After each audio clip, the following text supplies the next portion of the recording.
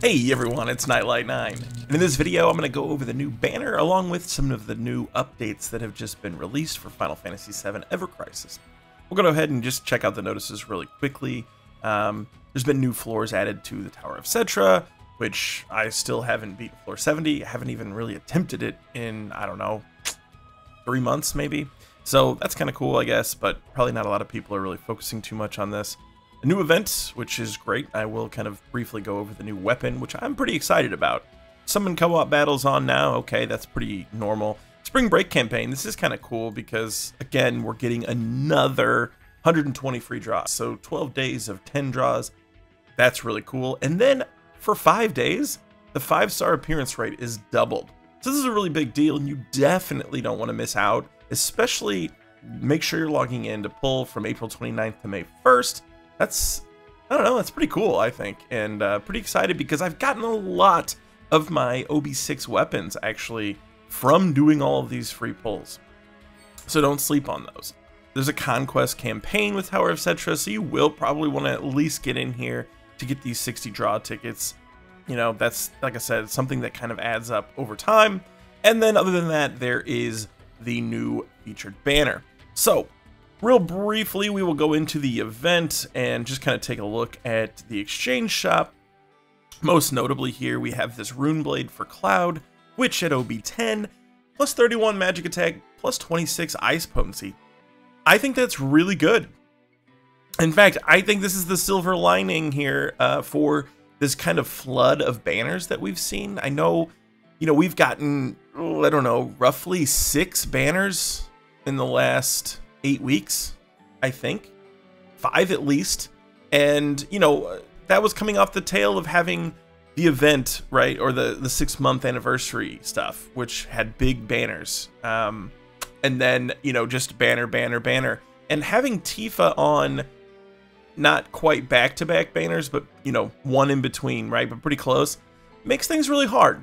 To me, the silver lining is at least the event weapons for the last month have been really good. They've actually been not just giving us the standard fare, they've actually been giving us R abilities that we can really utilize for sub weapons. So I'm really excited to have this, and uh, you know I think that, that that is something to actually give the devs some credit for. Other than that, you have the standard fare here: mithril ingots, draw tickets, catalyst, four-star guaranteed weapon tickets, uh, memories, cloud-specific weapon parts, 100 of them. That's quite nice and everything else that you would hope to find. Uh, so I'm, you know, this is really just another good event to kind of get those parts that you need so that you can kind of upgrade your stuff. So with that, we will move to the banner and kind of go through maybe the the negative part, right? I you'll notice here I do have quite a bit of red crystals. I did make a $60 purchase and actually I will show you exactly what I bought. Uh, it was this pack right here. So I spent $60 on this because, and I will show you here, I used 21,000 crystals on the last day of Tifa's banner to pull on it. And yeah, uh, I uh, didn't get it. I need, I already had two stamps on this card, page two. Thought, okay, seven pulls, I need literally 10 stamps. I think that that is pretty doable. And I came up too short. I got one stamp on every single pull but one. I got one, two, and the other ones were all ones. So I was really defeated because that is the second time in a row that I have been going for something on Tifa, and I felt like I got pretty screwed, to be honest with you. Um, I think, I think seven pulls should be about 10 stamps. Uh, you know, in fact, you know, looking at the numbers, I think I had about an 80% chance of getting there. So I felt pretty defeated, and this time I just caved in. And I said, you know what? I don't care. I'm going to go buy a pack because, you know, it's something I can't afford. I just prefer to, I guess, spend my money, you know, on other things.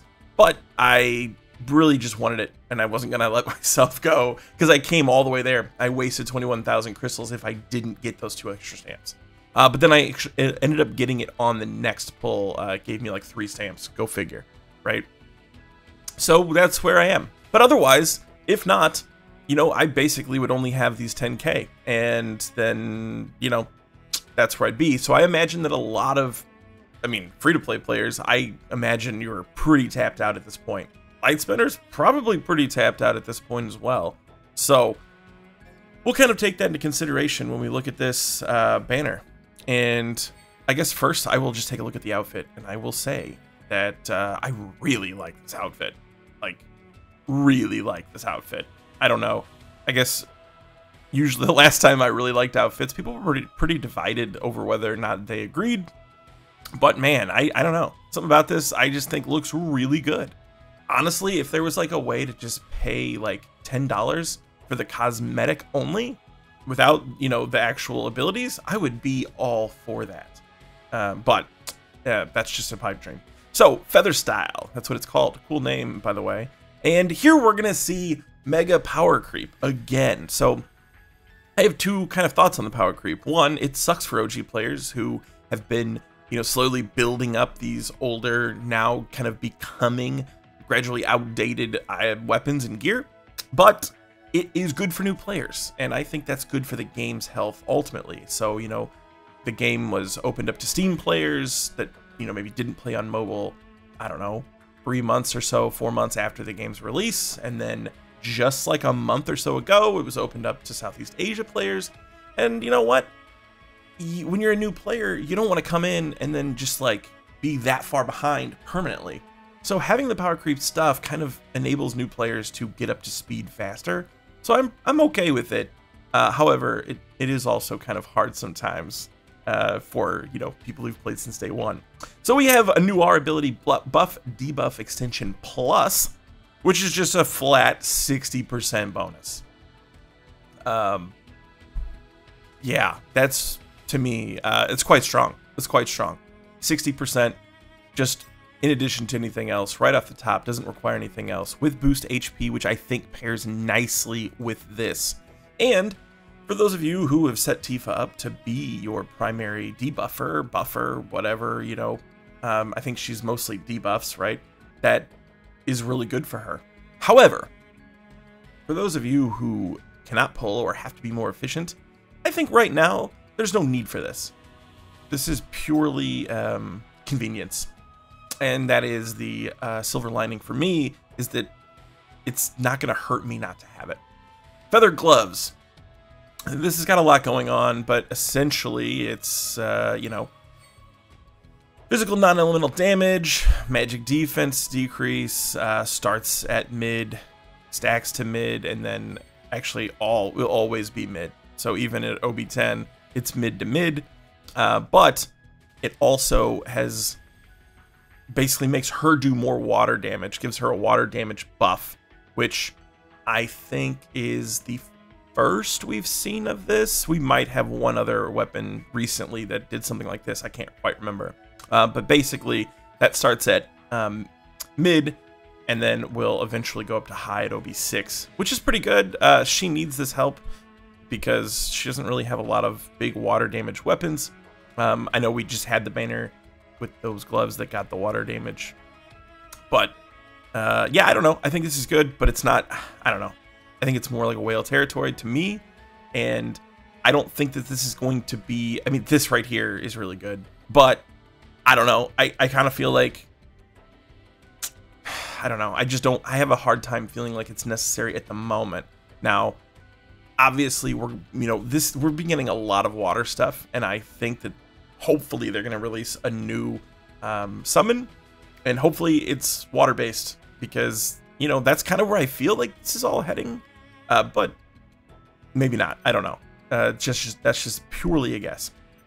So that's what we've got here. Uh, you know, as far as R abilities, plus 39, I um that's good. Plus 62 attack, good. So the R abilities on this weapon are very good. I think this is a perfectly great weapon. It's just that at the moment, we don't really have that much of a need uh, for the water stuff, which, you know, the game historically likes to throw that at us afterwards. So I expect it coming in the next two weeks. Uh, but you can always wishlist it. So it's not like this, you know, is going to be gone forever. And the feather style, obviously, so far can't be obtained later, but I don't think it's necessary. I think it's purely convenience. It's awesome to have. You know, if you're a dolphin or a whale, yeah, it's great. But I don't think that it's necessary. Uh, for Zack, his sword looks really cool. the outfit itself, uh, I don't care for it. I kind of hate it. So that's how I feel about that. Glacier Armor is what it's called. Frostblade Arcanum. I guess it's like you get a Frostblade Arcanum and you get a Frostblade Arcanum. At this point, I don't know, I think at least half of the characters have Frostblade Arcanum. I know we've got Aerith, Tifa, Cloud, Sephiroth, and Zack. I might have missed one, but that's at least five. Uh, so yeah. And then randomly it's got buff debuff extension on it. I don't think that's bad. I'm okay with it. Uh, I think this makes this armor really good, to be honest with you. Um, but it's kind of, do you need all those people to have Frostblade Arcanums? It depends, right? Earlier I talked about maybe people that started playing with Steam or the Southeast Asia players. And yeah, they might not have, you know, had, you know, the, the Tifa one or the Sephiroth one. So this is kind of cool because it still allows even newer players to have access to probably two Frostblade Arcanums. So I'm I'm good with that. Or if you're just a Zack fan, right? If Zack is one of your main people and you've been waiting on this, that's good for you.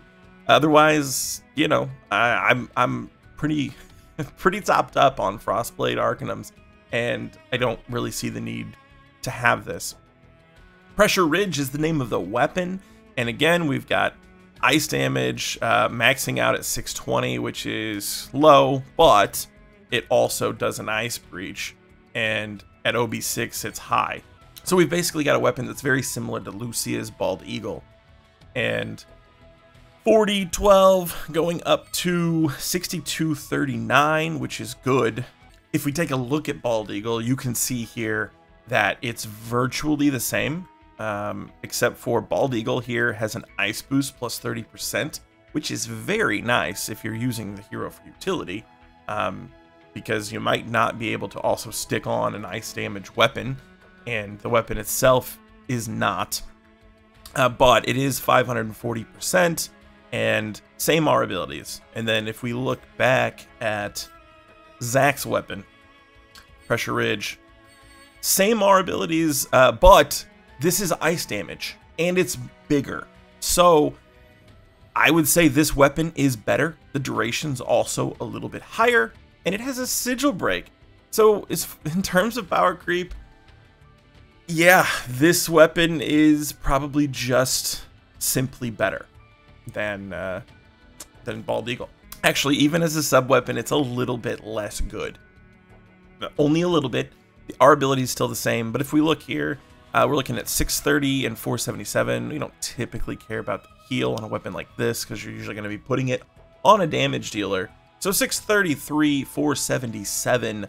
And then if we come back to this, we see 660, 492. So even the base stats are better. And again, that's the power creep. That's what we're talking about. Which, honestly, this kind of power creep I am perfectly okay with because Lucia's Bald Eagle came out at the same time as Sephiroth's weapon, uh, the Edged Wings. So, and that was like I don't even know, in the second month of the game, I think, something around there. And so, you know, having this, I, I would expect this, you know, this has been five months. The buff extension stuff, I mean, we just got that when uh, Yuffie came out. So, you know, it's been half the amount of time and they're already creeping it.